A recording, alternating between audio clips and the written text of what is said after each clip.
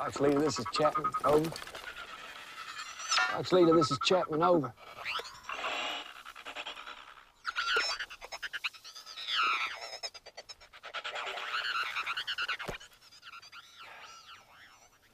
You, Billy, sometimes life just punch you in the balls.